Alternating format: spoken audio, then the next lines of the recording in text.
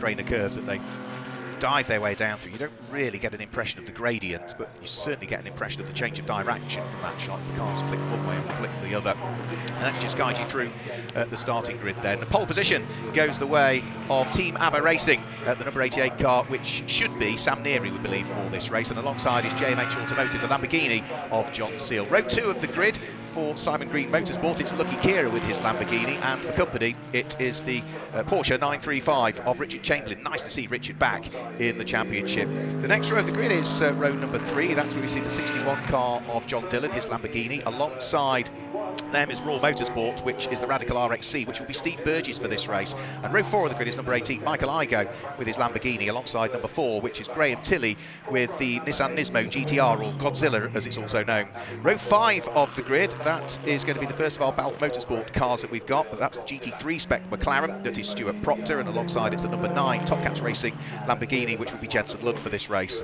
The sixth row of the grid, as we move on to Row number six will be the number 96 car from Stanbridge Motorsport, Chris Kemp, and alongside his number 34, which will be Richard Marsh with his Porsche. And then we move on to row number seven. Row seven is Stanbridge Motorsport. Fraser Smart will start, and alongside his number 35, Faluga Motorsport, which is uh, Nick Phelps. The eighth row of the grid is 67. That's Orange Racing, powered by JMH. That will be Josh Jackson at the wheel of the Ginetta and alongside car number 28. Hopefully it will be there. I hope so because it had a little bit of contact early on in qualifying which broke the drive shaft. And that is, we saw the interview from him earlier on, Paul Bailey, who's already had to swap from the Brabham that he was hoping to race this weekend into the Ferrari. And there were question marks as to whether the Ferrari would even make the start of the race. We'll have to wait and see. Uh, and then the next row of the grid, is row 9, which is 52 Deranged Motorsport, Ollie Brown and 212, which is Make It Happen Racing and Stephen Walton. The 10th row of the grid is 82 uh, James Guest for Feathers Motorsport and alongside is number one, the reigning champion, which is uh, Simon Orange at the wheel of the Ginetta. Next row of the grid is Scott Sport uh, with uh, alongside 24/7 Motorsport. The 12th row of the grid is Paddock Motorsport, and the second of the Balfe Motorsport cars. We move on to the next row of the grid, which is Fox Motorsport and the Century Motorsport machine. Uh, Valuga and Signature RV Paddock Motorsport line up uh, there in 32nd position on the grid, the outside of row number 16. Row number 17, we still keep flicking through them all. Very, very large grid that we've got here over the course of this Donington Park weekend. And on row 17 of the grid, it should be Whitebridge Motorsport, number 72 car, alongside 29, which is Gemini Motorsport and Andy Roby. He had problems, though, in qualifying, so that could have caused him uh, a few issues. Then it's Century Motorsport before we then see Greystone GT, another new team to the championship. Uh, the, the Marcos Mantis of Charlotte Gilbert had problems in free practice, so only did a few laps in qualifying. And then the back row of the grid, problems for both of those. Peter Jackson in the Vector Motorsport Lotus Elise lost his brakes and didn't take part in qualifying. And as we mentioned, the uh, replacement car for Enduro Motorsport and Morgan Tilbrook season number 66 car lineup at the tail end of the field. So that's the way that they all line up. There is the pole sitting car in the hands of Richard Neary. I said I thought it was Sam Neary, but no, that is Sam that is uh, down there talking away to father. Thumbs up from both. Uh, they have been competing in the British GT Championship for the last year or so. Now that is John Seale that sits alongside. So it's a Group GT3 car on pole, Group GTO car for this weekend of John Seale that sits alongside. John, another driver who we saw racing in the British GT Championship last year. And originally his car was potentially going to run in the GT3 category uh, due to various conversations that have gone on. He has opted to run it in Group GTO for this weekend, so it's a Mercedes and a Lamborghini on the front row of the grid. There is the number 22 car which is one of three cars we've got from Greystone GT in the championship for this year. Each one of the Greystone drivers is paired up with a very, very capable pro driver. So that was Richard Mason's car, who is paired up at the wheel of the number 22 car with John Lancaster. That's the Richard Chamberlain Porsche 935 returning to the championship. That car is a real hybrid of cars. There's not a lot left of the original Porsche that that was built on. Uh, and it's great to see Richard back in the championship. It's also good to see that car in the championship as well, which is the Radical RXC of uh, Ben Dimmock and for this race at least uh, Steve Burgess. At his local track as well Steve. Born in Leicestershire lives in Nottinghamshire multiple radical champion as well. Moved over from uh, another championship in the UK to race in GT Cup for this season. I think they were third overall in that particular championship last year but have opted to race in GT Cup this year and have brought that Radical RXC in for uh, the very first time. Be interesting to see how they go. I think they were hugely impressed with the strength in depth that was on the grid for the course of this weekend. We've got numerous drivers who have raced uh, at Le Mans, including champions in the European Le Mans series. We've got two former Formula One test drivers as well, with the likes of Darren Turner and Adam Carroll. But of course, most of those are the pros, and therefore they can't take part in this sprint race. So, buzzer goes off, countdown continues. Won't be that much longer before the grid is cleared. There is the car that will line up third on the grid, which is the Simon Green Motorsport Lamborghini Huracan GT3 of Lucky Khera. Lucky who raced with us last year in a mixture of uh, European Cup specification Ferrari 488s, also took in a couple of races at the wheel of his Porsche as well. But it's a Lamborghini GT3 for him. Hopefully, oh please don't tell me there are more problems with the number 66 car. That is already, as I said earlier on, the spare car because of the problems that befell Morgan Tilbrook in qualifying. So that car qualified out of session over the course of the lunch break. Hopefully that's just precautionary. Lift the bonnet, check. But whatever went wrong with the other car is not going to go wrong with this one. And yeah, the number 66 Mercedes ushers its way up towards the tail end of the field. So that is good news indeed for Morgan Tilbrook, who hasn't had a great deal of luck so far this weekend. A bit like Paul Bailey, really, with the Brabham braking and then the Ferrari having contact and broken drive shafts. Hopefully, that Ferrari has made it onto the grid. I'm just looking to see whether I can see the Ferrari. Not the easiest because they start in something like eighth uh, row of the grid. So it's really just the roof of the car that you'd be able to spot. So I'm not entirely sure that the Ferrari has made it out. Row one, two, three, four, five, six, seven, eight. Yes, the Ferrari is out. Yeah, the Ferrari has made it out onto the grid. I can just, through my commentary position, pick out that the hard work has been done by the team and therefore we are indeed going to see the SB Race Engineering Ferrari out onto the field. So countdown continuing, the slave batteries have just fired the engines into life, the last few team members and the other drivers that cannot take part in this race, in the case of the pros, in the case of where they are not the pro, you decide which driver is going to take part in this sprint race. We are about to very shortly get the first rolling lap underway for the start of the 2021 GT Cup Championship season here at Donington Park on the national circuit. So it's 1.9790 miles long, and they will have 25 laps to unleash this colossal grid of GT specification cars. We'll keep you up to date on who all of the group leaders are as well at any one individual point, because of course it is the points you, you accumulate uh, in your respective group that count towards the championship. So we will have on the front row of the grid, for instance, a GT3 car and a GTO car, they will both be wanting to claim the overall win, but they will both be scoring their own individual championship points in that respective group.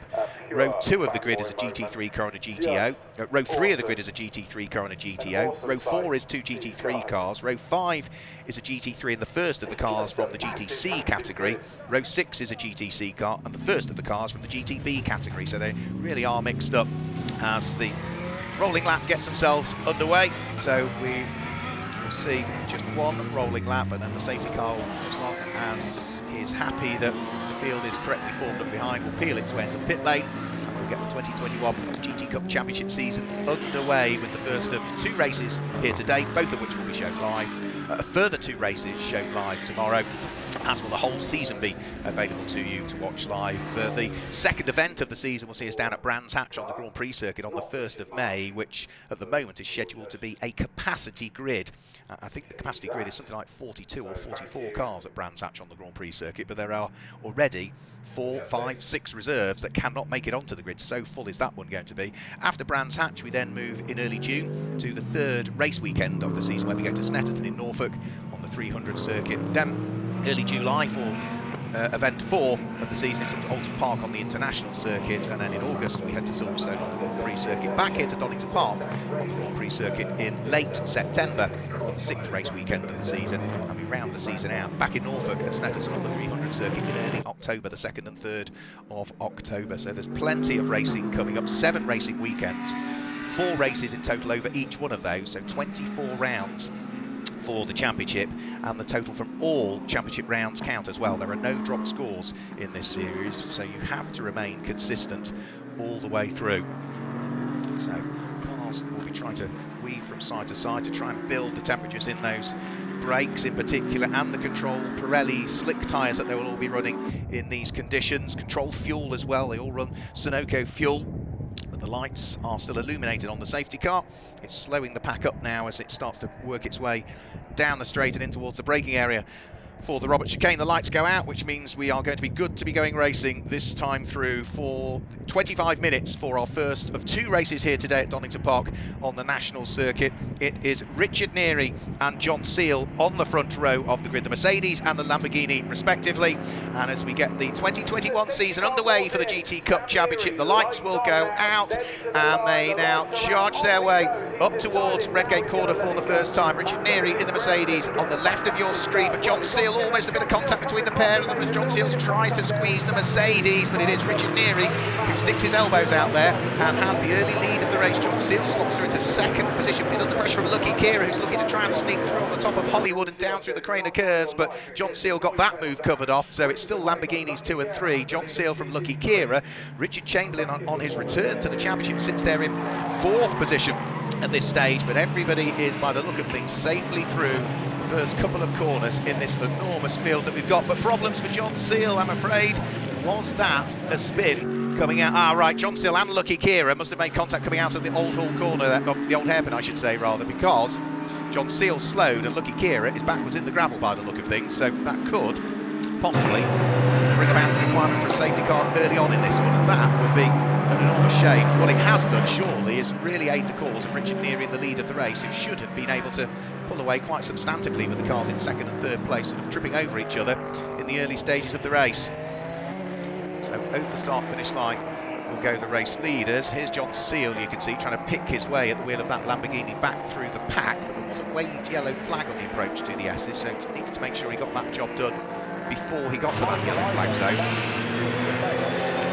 And so they charge their way in towards Redgate Corner. There is the number 41 car also with problems. That's Fraser Smart that's had a spin. That's coming out of the Robert Chicane at the wheel of his Lamborghini. So a couple of the Lamborghini GT3 cars and that car, the Super Trofeo car, all having problems in the early stages of this one. But the race still continues.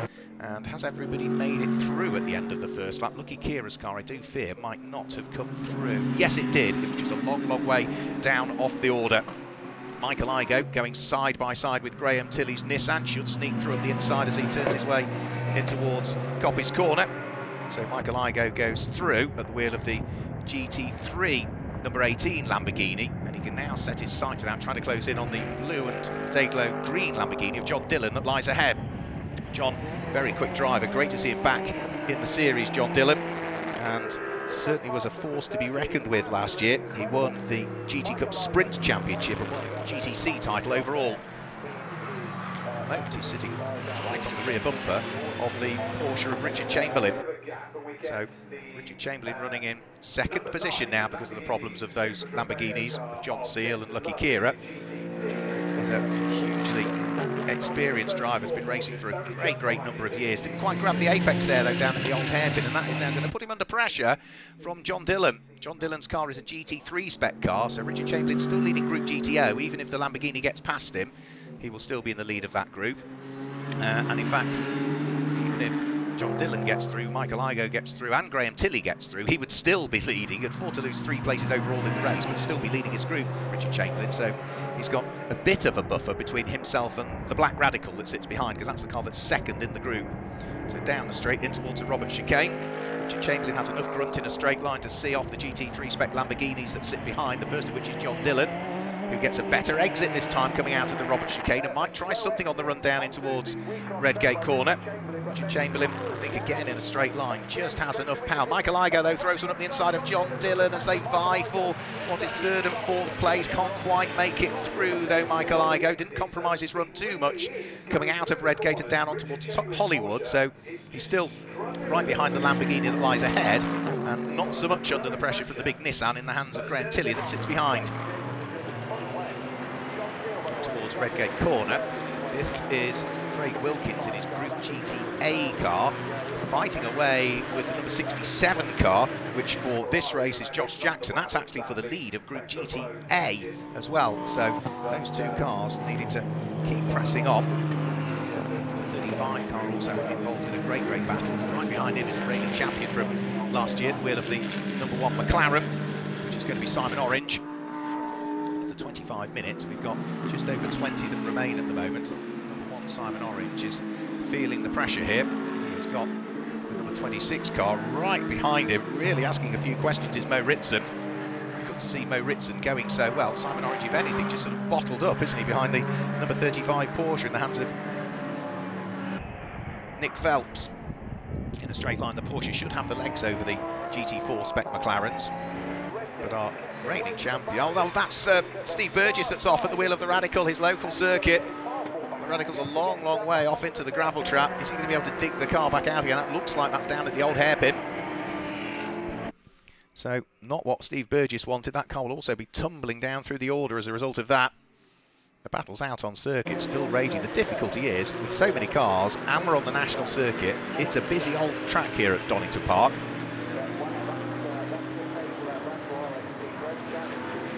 Yellow flags waving at the top of Hollywood, so there's no overtaking down through the Craner curves. It does make me wonder as to perhaps whether the Radical has not made it out of the gravel. There it was, it was Redgate corner, I think, the problems for the Radical. There it is, it's now finally back on the tarmac in the hands of Steve Burgess, but will have dropped all the way down almost towards the tail end of the field.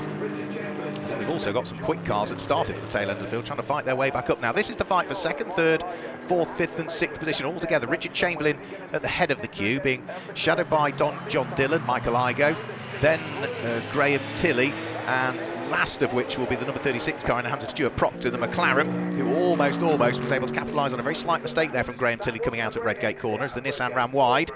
So from all five being together, it's sort of a trio and then a pair, isn't it now, all of a sudden, as they tumble their way for the sixth time through the old hairpin and start to accelerate their way back up through Schwantz Curve. Richard Chamberlain still leading Group GTO, still lying second in the race and keeping the GT3 machines behind him. And this Porsche can trace its roots back to what the early part of the 1970s probably as a chassis it's hugely developed since then there's not much of the original car that's left but with a continuing state of development and really taking a year out last year, Richard Chamberlain, to try and fettle the car. It is working beautifully well at this stage and cars that are substantively newer than it. Yes, they run in a different class. Yes, they have different aero packages, but in a straight line, Richard Chamberlain just has the grunt to see off the GT3 cars. Doesn't quite have the aero through the corners, but overall, there's very little to choose. Michael Igoe having another little go at John Dillon, flashes the lights. John Dillon tried to turn in, saw that the other car was alongside, and Michael Igoe now through up into third place overall. That puts him second in Group GT3 now. So good overtake there for Michael Igoe who has only been racing, what, for three years, I think now, Michael Igoe, since we first saw him out on circuit, and has really come on leaps and bounds over the last few years with the help of the pro drivers that have been supporting him in the various championships we've seen him in. What's he going to do now about trying to attack Richard Chamberlain and trying to squeeze his way through? Richard will be calling on all of those many, many years of experience, but Michael Igoe gets a slightly better exit coming out of McLean's. Can't do anything as they head up towards Coppice. Can he try and switch back on the exit? Yes, he does. So takes a wider line in, works his way back through, but then the extra power of the Porsche might just tell for Richard Chamberlain as he comes down the straight. Chamberlain trying to attack and defend from the same time. He's got John Dillon right behind him, so he covers off the Lamborghini behind. Doesn't worry so much about the Lamborghini ahead. That slows John Dillon's entry into Roberts. Didn't really compromise the exit again, though, so I think he is still going to be good enough to be in fourth place by the time they get towards Redgate Corner. Graham Tilley's big Nissan, can he outbreak the Lamborghini? He's going to go, you know, yeah, up the inside. Through goes Graham Tilley.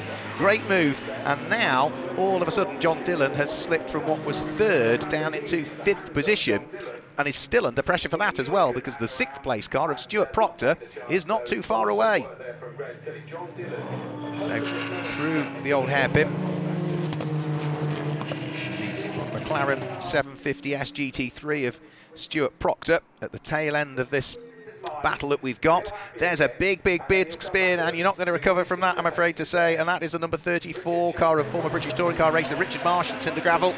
So that is the Team Hard Porsche. Didn't quite see the start of it, but we certainly saw the end of it, and that's it for the number 34 car, Richard Marsh, who spent a few years in the touring cars, what was it, 2003 through to 2007 in the British Touring Car Championship, then moved through to British GT.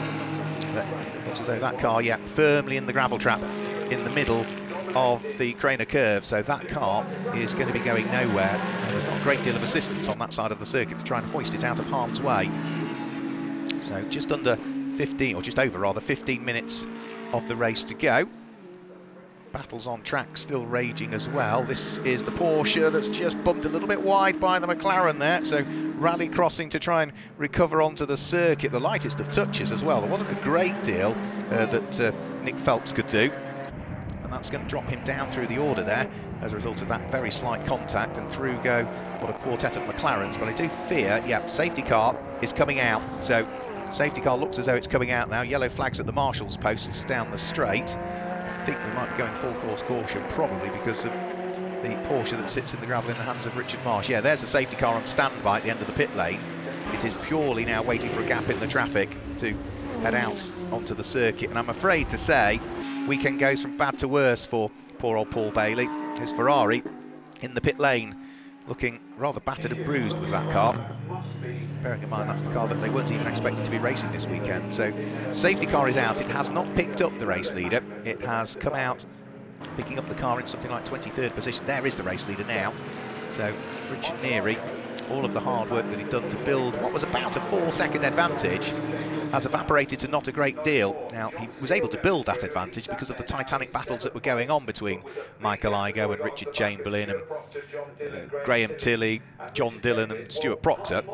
But all of that will evaporate to not a great deal. The one good thing for Richard Neary, his car is there. Where's the car in second? Well, he's got one, two, three, four, four back markers between himself and the Lamborghini of Michael Igoe. So when we get the race back underway, there will still be a little bit of safety margin between Richard Neary and the pressure for the lead of the race. Now, the cars between Richard Neary and Michael Igoe all look like GT4 spec cars, so it shouldn't take too long, really, for Michael Igoe to work his way past them once we get the safety car period out of harm's way. And then, the one thing he's then got to do is try and really attack for the lead of the race if he wants it. So just to run you down through who is leading the various groups at this stage. Leading the race overall in leading Group GT3 is the number 88 Mercedes of Richard Neary. Uh, leading Group GTO is the car that's in third position overall. That's the all-orange Porsche 935, the number five car in the hands of Richard Chamberlain. So the safety car is waving all of the GT4 spec cars by as well. So we are going to have Michael Igoe right behind Richard Neary when we get the safety car done and dusted.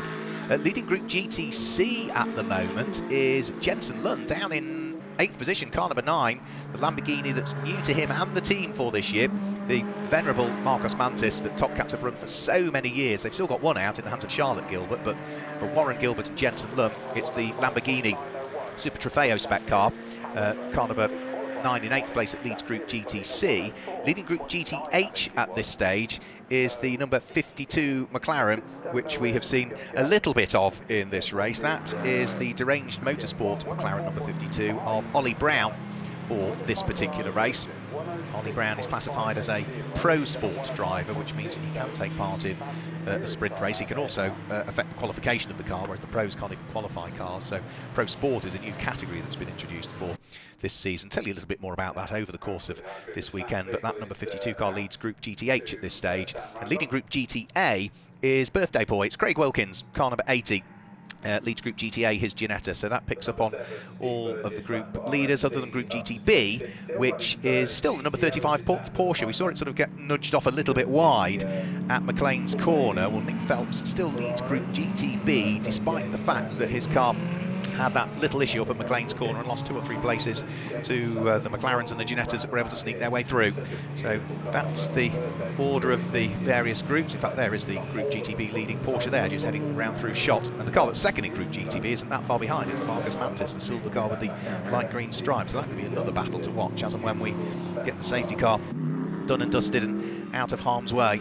So Richard Marsh's Porsche will be getting dealt with difficulty with where it ended up there on the inside of the old hairpin, the bottom of the Craner Curves, is that there's no snatch vehicle that I'm aware on that side of the circuit. So usually what has to happen is they throw the safety car to get the circuit vehicle, the teleloader from one side of the track to the other to then get the car out of harm's way. So that's what they're doing now. They're dragging it into a gap that exists in the concrete wall uh, part the way down through the Craner Curves.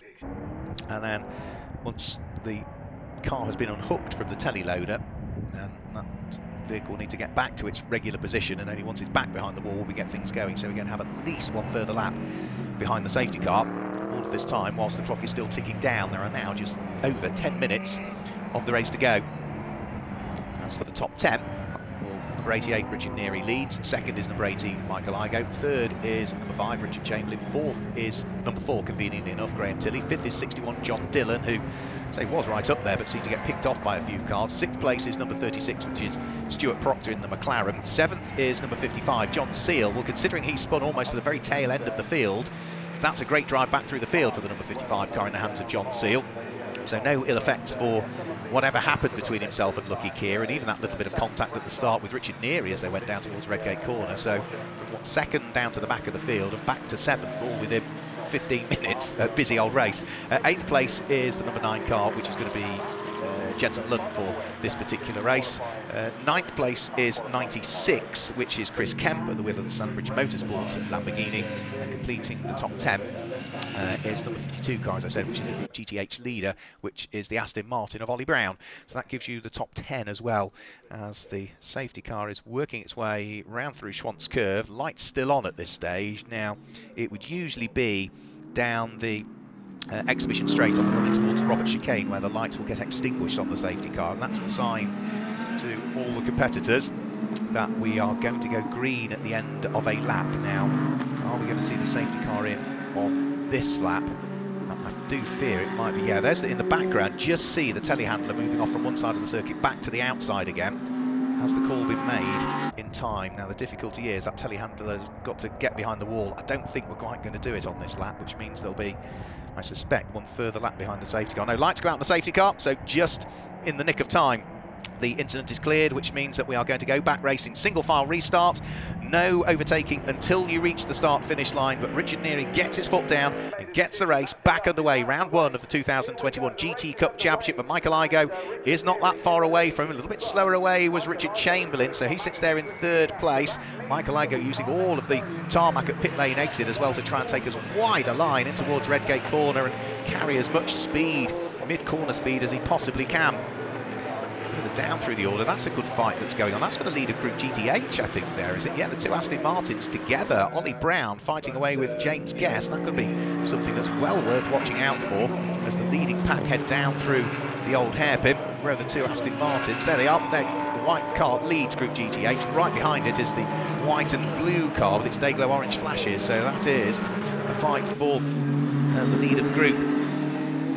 So that will be, what, 10th and 11th places overall leading pack up towards McLean's corner, turning their way in towards the blind entry. Double apex right-hander, difficult corner is McLean's corner. There go the two Astons, yeah, still fighting away. Lamborghini's trying to side their way past them, which I think is another car that's coming up from the tail end of the field. Lucky Khera, after his spin all the way down towards the tail end of the field, has got himself involved with those two Aston Martins, but he's cleared both now, which means the battle for the lead of Group GTH, the GT4 spec cars, is back on once more. Ollie Brown under pressure from James Guest, whilst for the lead of the race, Richard Neary is under pressure from Michael Igoe. Just 0.5 of a second separated them as they came over the start-finish line to chalk lap number 13 into the book. Seven minutes still remaining as they tumble their way back downhill in towards the braking area for the old hairpin. Now, longer races, the pit stop races tomorrow, have that extra dynamic of not just the pit stop, but also the fact that the cars will be handed over to separate drivers. We'll see that over the course of the pit stop race later on this afternoon and the pit stop race tomorrow. For Richard Neary and Michael Igoe, they can sort of size each other up for the remainder of this race and try and understand as to where their car might have a slight advantage over the other. Great fight going on for third, fourth, fifth and sixth place still. Richard Chamberlain has done a really good job at the wheel of that Porsche of keeping at bay the aspirations of the GT3 cars that are really queuing up behind now. Richard Chamberlain leads Group GTO, the open spec cars, but then he's got four GT3 spec cars right behind him first of which is Graham Tilley, the next of which is John Dillon, and then Stuart Proctor, who's now coming under pressure from a rejuvenated John Seale, having spun towards the tail end of the field. The number 55 Lamborghini looks at the inside of the McLaren. Can he squeeze his way through and take the position away? Yes, he has. So John Seale now back inside the top six. And what can he do from there? Graham Tilley also attacks Richard Chamberlain. And, ah, right, problems. Problems, I'm afraid to say, for the Porsche because Graham Tilley goes through and ahead of Richard Chamberlain. And Richard Chamberlain all of a sudden didn't put up a lot of fight, did he? He'd been holding those GT3 cars forever. But all of a sudden, Graham Tilley, John Dillon, Stuart Proctor, John Seale, all are through and ahead now. And I do fear that the body language of the car of Richard Chamberlain's Porsche suggests that all is not well. And yet he's lost a further place there as well as Jensen Lund goes through. Lucky Khera might pick him off also by the end of the race as well. Or the end of this lap even. So yeah, there is Lucky Khera already right the way up onto terms with the Porsche and again no defence put up by Richard Chamberlain. He'll be destined for the pit lane I'm afraid to say I think at the end of this one. And that would then put into the lead of Group GTO John Seale's car, the number 55 car. It is a GT3 spec Lamborghini but he's opted to run it in Group GTO it's the white car that's just coming up towards Redgate corner now. We're trying to hunt down this car here the number 61 in the hands of John Dillon. So that Lamborghini now takes up the lead of Group GTO at this stage and Chamberlain say crawling his way around the circuit and tumbling all the way down and has indeed yeah come into the pit lane at the end of the lap. So less than five minutes remaining. Graham Tilley up into fourth uh, third position I should say. John Seale up into fifth position and now leading Group GTO at the wheel of that number 55 Lamborghini. Fantastic soundtrack they make as well these big GT cars as they thunder their way around the Donington Park National Circuit. Now, how much further up through the order can John Seale get? We know the car and the driver's got the pace because, say, he qualified outside of the front row this morning. It was a stellar lap that was put in by Sam Neary, who is not racing in this race. It's father Richard that's opted to take the first race in. So Sam was the best part of 1.6 seconds quicker than anybody in qualifying, but John Seale was the best of the rest. Uh, and that, I'm afraid to say, is, well, there we, a loose wheel has fallen off, and that looked like the number 96 Lamborghini. That's the Stanbridge Motorsport car of Chris Kemp that's gone into the gravel up at Coppice Corner. He felt something was wrong, yeah, and there's the wheel. It's the front left, isn't it, that's come off the Lamborghini, so there is going to be nothing Chris Kemp can do about that. He is out of the race with three and a bit minutes to go. Up towards the braking area for Redgate corner. That's Craig Wilkins. Now this is for the lead battle of Group GTA again once more. The two Ginettas, both of them run to Super Cup specification, but Craig, who celebrates his 50th birthday this weekend, the number 80 car, that red car with its day-glow yellow flashes coming under enormous pressure from the number 67 Ginetta of Josh Jackson that sits directly behind. Josh Jackson, remember, is a reigning champion in GT Cup, the overall championship he grabbed last year when he was partnered with Simon Orange. The two of them working together again this year. They've set up this new team as well, Orange Racing powered by JMH, their technical partners. And at the moment, the Orange powered by JMH Ginetta is asking a few questions of the Scott Sport prepared car, whilst those two are battling for the lead of Group GTA. James Guess, who's ahead of them at the wheel of the Aston Martin, is desperate to try and close back up on the leading car in Group GTH, which is the number 52 Aston Martin that he's just dropped away from over the course of the last few laps.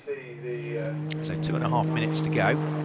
John Seale's progress continues, up to fourth position now at the wheel of the number 55 Lamborghini. He is still less than a couple of seconds adrift of the third place car of Graham Tilley, so might not be done and dusted yet for John Seale, you know. Morgan Tilbrook, who started at the real tail end of the field, still working his way through, but the race leader has now got all of this traffic to try and deal with. Richard Neary bouncing over the curbs, catching up with some of the GT4 specification cars. He's going to have to weave his way through and past them. Is he going to clear them all by Redgate Corner? Michael Igoe goes one side of one back marker, one side of the other. Richard Neary splits the pack and then tries to get around the outside of Morgan Tilbrook's GT4 spec Mercedes at the wheel of his GT3 car. The extra power, the extra aero tells. So Richard Neary now has got at least three more back markers between himself and Michael Igoe. So still a couple of seconds separated them as they came over the start-finish line. But Richard Neary has managed the traffic well there and has made sure that he cleared it all before they got towards Redgate Corner, so he wasn't compromised on the run through Craner Curves, which is not the easiest places to try and overtake, even if you are in a more powerful and more aerodynamically efficient car with greater levels of downforce. So that would have aided the cause of Richard Neary, who will be heading over the start-finish line to start what is now likely to be the last lap of the, uh, of the race next time through. So down the straight, towards the braking area for Redgate Corner. James Guess and Craig Wilkins, both of whom raced together in Group GTH category, last year. Craig's moved through to Group GTA and he's now running side by side with the Group GTH Aston Martin, desperate to try and hang on to the lead of the group. But it's Aston Martin from Ginetta, McLaren from Ginetta, but those are cars that run in both Group GTH GTH, Group GTA, Group GTH, and Group GTA are the order that those cars run in. So it's not all for position that quartet that you see there. As for our race leader, should now be on to the final lap of the race. Can we usher John Seale, the number 55 car, any further up? The car he needs to try and get past is going to be Graham Tilley's Nissan. You can see that Burgundy and Dayglow Nissan working its way through the hordes of Group GTH cars there. The Aston Martin, the two McLarens, and then the Group GTB Porsche, which I think will be David Franklin for this race. Tilley, I think, might just have enough in hand to try and fend off the aspirations of John Seale and hang on to what will be third place overall. At the moment, it is Group GT3 cars first, second, and third place. The clock ticks to zero. Richard Neary works his way for the final time up towards the braking area for the Robert chicane. Flicks right, flicks left. He still might have uh, Andy Roby's Marcos Mantis to deal with on the sprint to the line, but Richard Neary has done enough to claim top honours in the first round of the 2021 GT Cup Championship here at Donington Park. Michael Igoe comes through and finishes in second position. Who's going to be third? It is Graham Tilley who's just going to hang on to third position. John Seale has got involved with one of the GT4 cars, I'm afraid to say, and that charge back through the field is not going to happen for John Seale. And the car that he made contact with I think might have been Mark Hopton's car. Mark having his first ever motor race here today. And yeah, John Seale's car has come to rest backwards in the gravel trap at the very final corner. Mark Hopton, who I think was involved, limped his car immediately in towards the pit lane and therefore didn't take the checkered flag. So it's going to be Graham Tilley in third position, John Dillon in fourth place. It's going to be Stuart Proctor in fifth and Lucky Khera who also had problems on the first lap, who finishes in sixth place. Uh, we'll pick up on the rest of the group winners as the battles still continue over the start finish line. That is the lead battle for Group GTA sorted as uh, through comes Craig Wilkins to claim top honours in that just outside of the top 10, but there's still cars to take the checkered flag and then we'll run you down through the full order. But what a start to the weekend for father and son pairing, Richard and Sam Neary. They claim top honours in the first race of the weekend for the GT Cup Championship. Michael Igoe finishing in second place and Graham Tilley in third, making it a GT3 category. One, two, three here at Donington Park. Richard Neary trundling his way down the pit lane. And of course, all of these cars will be spanner checked and prepped and will be ready again for the pit stop race that is scheduled to take place later on this afternoon. We are going to be going live on the stream around about uh, 10 past 5, there or thereabouts, but maybe just keep your eye on it a little bit earlier because if we run efficiently to timetable, they will start the race that little bit earlier. So cars trundling their way down the pit lane. We should, hopefully, be able to rattle through some results with you just to confirm the results for our first race, the provisional results of which, of course, they are at the moment. The official results will all be confirmed a little bit later on. So the results are Team Abbott and Richard Neary take the win. Second place is Michael Igoe for WIP Motorsport, and third place is the Triple M Motorsport Tech Speed Nissan in the hands of Graham Tilley. Fourth place goes the way of John Dillon for Scott Sport. Fifth place is uh, Balfe Motorsport and Stuart Proctor, and sixth place is uh, Lucky Khera for Simon Green Motorsport. Then it was the radical pairing of uh, Steve Burgess, who shares that car with Ben Dimmock, that were in seventh place. Top Cats Racing Lamborghini was eighth, and the Deranged Motorsport Aston Martin was in ninth position. Head of Feathers Motorsport, Deranged Motorsport taking the Group GTH honours with that one. That gives you the top 10 in 11th place.